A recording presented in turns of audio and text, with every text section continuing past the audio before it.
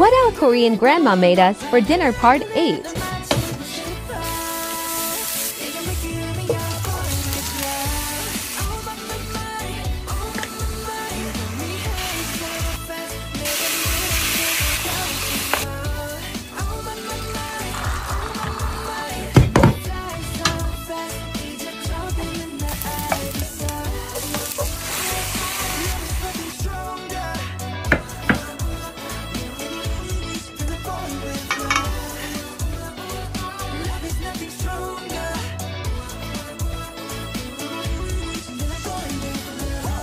그대는 후야 내 삶은 on top 너야 관계 사슬받지 않게 만들어버린 너라는 백 하나부터 열까지 에이, 에이.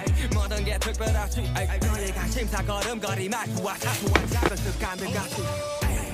난 말했지 너무 작다 내가 영웅이 된 거라